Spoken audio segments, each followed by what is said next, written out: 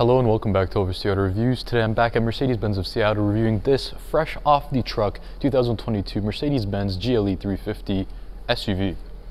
Now if you would please subscribe, be a very, very big help. And without further ado, let's break this vehicle down and complete a review.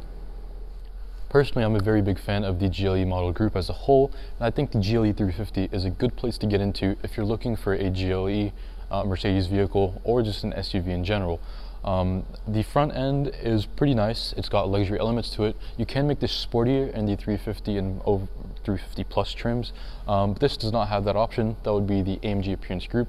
That would give us a diamond shaped grille, um, a better bumper that sticks out a bit farther. It gets rid of the uh, overbite situation.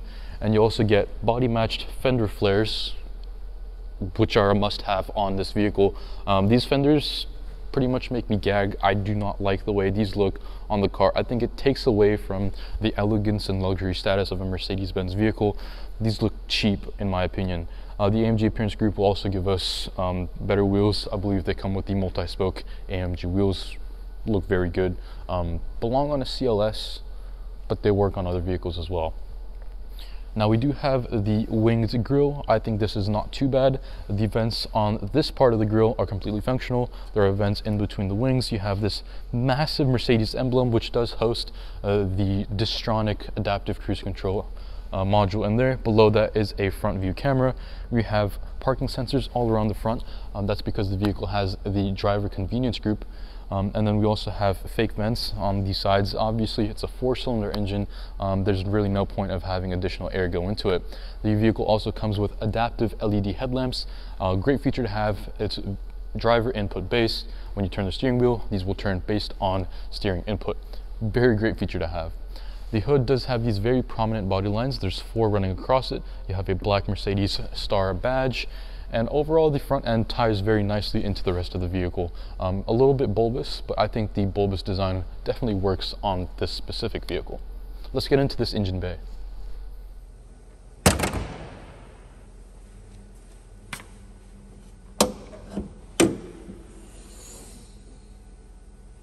Now underneath the hood of this beautiful GLE 350, minus the fender flares, you'll have this rather small 2-liter turbocharged inline 4-cylinder. This makes 255 horsepower and 273 pound-feet of torque.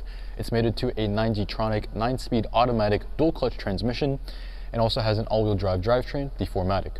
This gets the vehicle to 60 and this variant in 7.1 seconds. Now if you did opt for the rear-wheel drive version of this vehicle, it will get you to 60 in 7 seconds. That's right, the lower model trim is quicker to 60 than this one. Now, if you did want more power, you can upgrade to a turbocharged inline six cylinder in the GLE 450 and the GLE 53 AMG or AMG 53, uh, however you want to say it. Um, and those will feature a turbocharged inline six cylinder. And if you did have a lot of money and wanted to go all the way up, you can get the GLE 63S, uh, and that will have a twin turbocharged V8. Uh, for a base car, I think this isn't too bad of an engine. This The 7.1 seconds is under wide open throttle. Um, you don't really need to be going that fast unless you're on a shorter on-ramp and you do need to floor it completely. The competition is also a lot quicker than this vehicle. The Dodge Durango does 60 in 6.4 seconds. The Jeep Grand Cherokee is in the same vicinity. Even the Toyota Highlander Hybrid is doing it in the upper six second range. So this is on the slower spectrum of your mid-sized three-row SUV. And that's correct, I said three-row because this does have an additional third row package, which I would not recommend in the AGLE. Let's get on to the side, the rear, the trunk, and then eventually the interior as well. At the wheels, we have these 21 inch by 275 millimeter width uh, 10 spoke 5 arm wheels. I think these are absolutely gorgeous, a lot better than these stock wheels that come on this vehicle. Uh, would look better with paint matched fenders in my opinion. Yes, I'm going to keep telling everyone about the fenders throughout the whole video. Uh, and you do have silver brakes on the inside with pretty large disc brakes as well. Uh, I love the way that the wheels look, especially in comparison to the offset you have at the rear. Um, these look very good. I definitely recommend upgrading the wheels if you are planning on buying a base model GLE. Now as much hate as I do give to these plastic fender flares, which really aren't too bad, I'm just over exaggerating, the side of the GLE is actually to die for. I think this is a model uh, in terms of its styling, especially in its competition. Um, the XC90 doesn't look as good as this anymore. Uh, the side does have the fender flare arches, and you got the stripe running all the way from the headlights into the taillights. Uh, you have the bottom body line as well. It does contour the door very nicely, gives it a rounder look. It also makes the vehicle appear wider, which is what you want. Uh, you have these chrome door handle overlays, which do feature keyless go. Now I do have the keys in my pocket and what you do with keyless go is all you have to do is slide your hand into the handle to unlock the vehicle. You can effortlessly open the door to reveal this gorgeous interior. I'll show you that, it's a little tease. Uh, you have automatic folding mirrors. So when I press the little sensor, they go in. The mirrors do also have cameras on them for your surround view camera. Uh, great feature to have. If you do open the, uh, the door while the camera is open, there'll be a little void um, where the camera should be. Again, simple camera stuff. Uh, the rear windows have been tinted. This does not have the AMG night package, so these um, door rims will remain chrome. I think the chrome looks good on the white, especially with a beige interior. The bottoms of the mirror caps are also still plastic. Uh, the rear is relatively long for a car of this size and that's why it does have a third row uh, for the model featured over here. Um, if you do look at the sticker, you will see that the third row is a $2,100 option, which I don't recommend you get. Now, this is a four-cylinder turbo, which means that fuel economy really isn't too bad. 19 in the city and 26 on the highway. You might also see that there's really no place to hang your cap once you are filling up. And the hack for that is there's this little nozzle thing coming out and you simply stick that in the hole right over there and let it be. Really simple. It's also very easy to put back into place. Now at the rear of the GLE 350, it's actually my favorite part, mainly because of these tail lights. They're LEDs and they look absolutely stunning when they're lit up. Above that, you have the GLE 350 badge in chrome the Mercedes-Benz star emblem in chrome, and the 4MATIC badge obviously in chrome to tell everyone behind you in the Trader Joe's parking lot that you have the all-wheel drive version of the base GLE. You also have tr a trunk trim on the top and bottom portion of the trunk lid. Below that you have the chrome diffuser with your completely fake exhaust tips. Allow me to demonstrate hand exhaust tip completely fake. They actually dump right below uh, where the bumper ends. You do have these rear parking sensors, very important, extremely loud. You actually do have to go into the settings and turn them down because they're too intense, um, which is actually a good thing. You want to know where you are and your position in space. And you also have a tow hitch, very important because all of your 255 horsepower and 273 pound-feet of torque will definitely tow nothing let's do a trunk test. Before I do the trunk test, let's go over the amenities in the tailgate, power operated, and it does have power close as well, as you can see right here. Now the third row has been folded down, so we have more space. Underneath this cover right over here, you have the tonneau cover, and what that does is it hooks into place um, over there, and you can slide it out, and it will anchor in over here, and you'll be able to completely block off any view uh, of what belongings you have in the tailgate. You also have chrome inserts over here just for show. They've been protected by this blue film. This should be removed when the vehicle is being taken delivery of. The right side features the fuse box, and on the left side we have the first aid kit. The seat belts right over here are for the third row, which I will show you in a bit, and these have their own anchors on the sides. The second row can also be folded down by switches over here, one single push all the way down,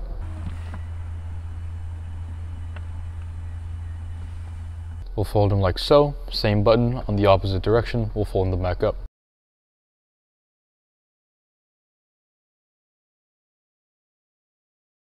Now let's get on with the trunk test.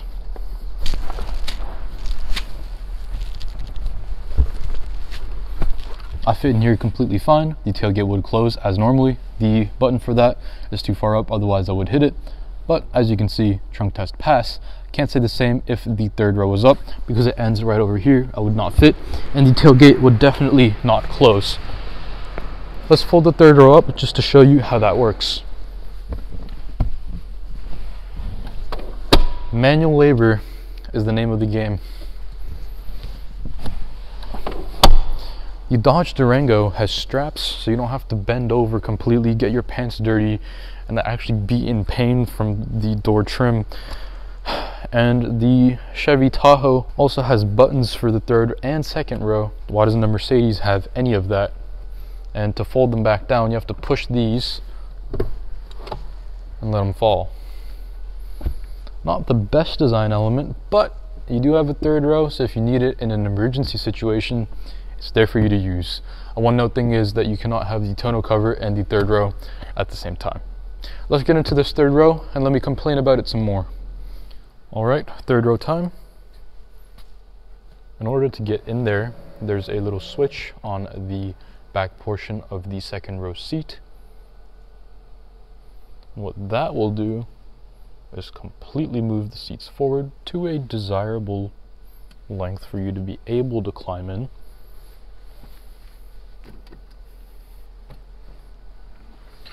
Just gonna grab the guardrail.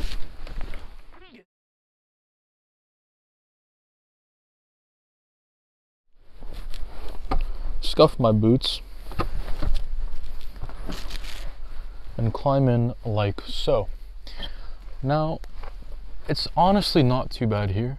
There is a light which does shine pretty bright actually. The headrest can be moved up to a desired location so that you're not uncomfortable. You can also do that with your shoulder blades. Um, and if we do sit over here, I can show you how the leg room is behind a closed seat. As you can see, non-existent. Besides this mess, you do have two USB-C ports, which is generous, and you do have two small cup holders, also generous. Besides that, literally nothing else back here.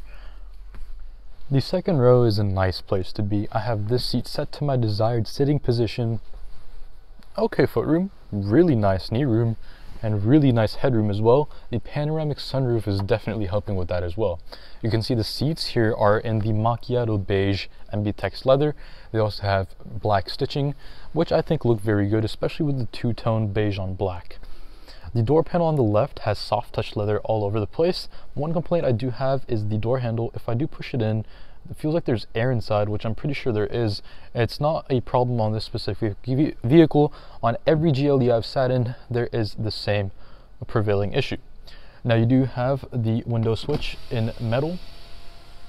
Window opens relatively fast. You also have the strip of ambient lighting, which I've set to pink because why not? You also have the natural grain brown wood trim with the Burmester uh, 3D surround sound system. Now, since these this vehicle does come with the third row option, the second row seats are adjustable. Now the entire two seat bench will move forward and the third seat um, is on its own, but these also have the backrest configuration and headrest configuration as well, which I think is a massive plus um, over the simple two row design of the vehicle. The backs of the seats have their own nets. The center console has two air vents, a little small cubby, and a charging port which does have a USB A and USB C uh, charging output ports as well. I do like the way that the front blends into the rear. The ambient lighting strip goes all over the dash, all the way into this rear. It's kind of like the S-Class, except the S-Class is significantly better at that. Um, you do have large cubbies in the doors as well. Great positives in the second row. Really nothing I can complain about. The sunroof which is really a panoramic moonroof, um, is also very nice. I like how wide open it is. It definitely adds a spacious element to it. Also, um, the spacious element is coming from the fact that these are light colored seats. Let's get into the front end. Here we're on the driver's seat of the 2022 GLE 350.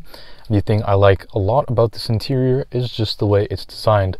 The trim runs all along the front end. This beautiful natural grain wood has a very nice little cabinet which slides out. If you did get the upgrade, you would have your wireless charger on this port. You also have two cup holders which are um, illuminated with the ambient lighting as well. Behind that you have your drive select system.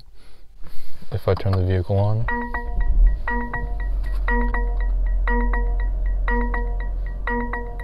and then I can choose whatever drive mode I would like and it says to not use with roof load for whatever reason but um, just listen to the car, I'd say. Uh, you do have your park cameras. You can see the sensors. This is the back camera. This is the front camera, surround view camera. As you can see, if I turn the wheels, there's the rear panel, the rear, and the uh, trailer hitch, which is always nice. This is not steering input based, however. Then you can go into the vehicle settings, your traction control, your manual mode. Um, you also have the tow-away protection, which is always nice your downhill speed regulation, and your car wash mode, which is also great. Um, and then you also have the additional assistance stuff. I have gone over all of this stuff completely um, in my GLC review, linked, and you'll see a pop-up banner and you can see all of your ambient lighting controls as well. Uh, you can change the color, you can have a multicolor, uh, for example, red moon. This will change colors from a different array of colors. You can see that there is two-tone, pink over here, blue on the door handles and in the footwells. And these will change and they'll vary because the um, door handles and footwells just change colors like you can see. You can also change the brightness of these. You can have a brightness zone where one zone is brighter than the other. I like to have everything on full blast. I just think it looks good. It's also quite comforting. Um, I also have the climate control system. This is a dual zone, so um, both passengers do have their own um, choices of how hot or cold they would like their seats and relative area to be. You have the um, hazards button over here, the rear defrost, the AC reset, the in, uh, cabin air circulation mode. You also have all of the other temperature control options over there. There is a volume button on the right, uh, really fun to use. The clicking sounds are very nice. The media button right over here, and you can also change that from radio to your Bluetooth and then there is the navigation button as well. You can see that the navigation is pretty detailed. This is also a touch screen so you can see that I can actually touch the screen to zoom in or out or move around. Right now it's a bit laggy because the PDI still has to be done but for something that hasn't had PDI delivered uh, properly yet this is actually really good. The center screen on the left side of the bigger infotainment system. You can see on the left side with the driver convenience package, we have the Distronic cruise control set. You also have the volume and call controls on the right side. This little square controls the settings on the right screen, and there's a little touch sensor which controls the rest on the left. I can also change my screen over here um, to be something I'd like a lot more. You can also change what type of information you'd like displayed. Uh, for example, your fuel economy, your route, your radio, and, and, other things like that. It's also very fun to play around with. I, I like changing the settings and changing the display as well. Uh, there is definitely a more sporty option and you also have the full screen display for if you are cruising on the freeway you don't want to worry too much about a lot of other information you do have this choice as well Overall, it's a very good and simple infotainment system. It might look overwhelming at first, but once you get used to it, it's really not bad. You also have the uh, controls for the parking brake on the left, as well as your headlight controls on the left right next to it as well. Really intuitive to use. Burmester sound system is really nice. The luxury package in this also gives us heated and ventilated seats. You also have up to three memory settings with these seats. I love them. Front, back, backrest, headrest. And then you also have thigh support, which extends forward or backwards. It gives you a nice support when you're just cruising. You want to rest your leg a bit. You also have the little center console, pretty small, but works great. Then the macchiato beige handrest as well. Overall, it's a great interior. I like the way it drives. Uh, let's get on with that drive.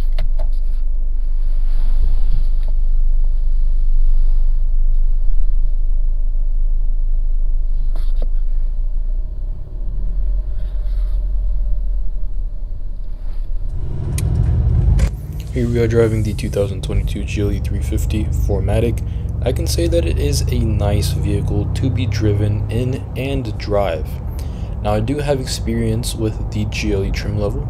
I've ridden in a 450, I've driven an AMG GLE 53, and I've also ridden in this vehicle and driven it. And I can say that I do prefer the regular coil suspension over the air suspension. This vehicle has the regular suspension, not the airmatic, and it does give you more confidence when you take turns. It feels more planted and also doesn't feel like the vehicle is floating in the air. Now this is dependent on viewer preference.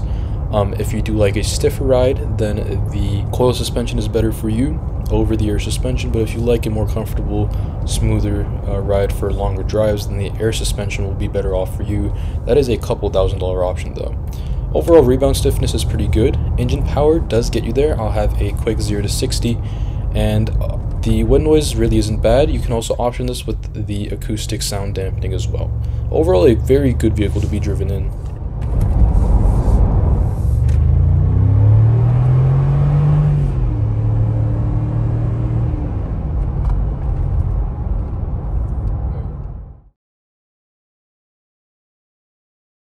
First contender for the comparison is the 2022 Volvo XC90 Momentum. This does have a turbocharged 2-liter inline 4-cylinder just like the Mercedes. It does get to 60 in 7.5 seconds. This is a Scandinavian vehicle, meaning that it is made in Sweden, and it does have good quality on the interior. Um, reliability may be iffy on this, but it shouldn't be too bad considering that it is a modern Volvo vehicle. I would take the Mercedes over this one. Next up would be the 2022 BMW X5 S-Drive 40i. Configured, it is pretty much the same thing as this vehicle. It is better in performance, however, 0 to 60 in the mid 5 seconds because this has a turbocharged inline 6 cylinder. I don't know if it's the B58 or not, but it's a good engine. Next up is the Audi Q7 and stay the world away from this vehicle. Uh, I am biased against the Q7s. I just don't like them. But at this price point, 133 grand for a base level? No. You, for 130 grand, you can get a GLE 63 AMG. The last one is kind of unexpected. This is the Grand Cherokee uh, long wheelbase with the luxury package.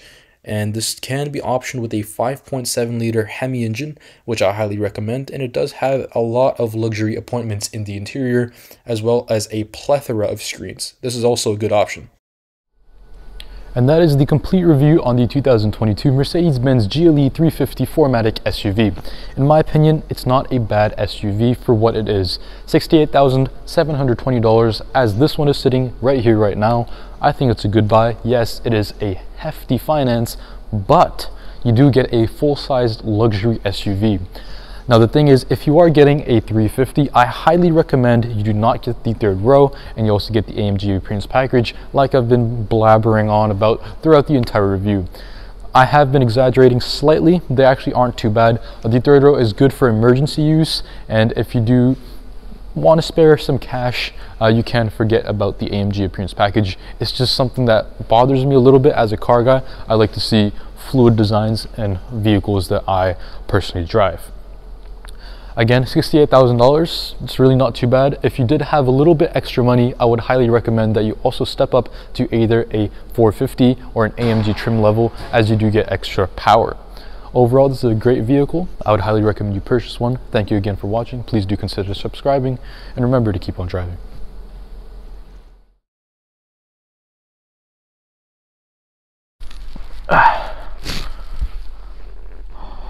no!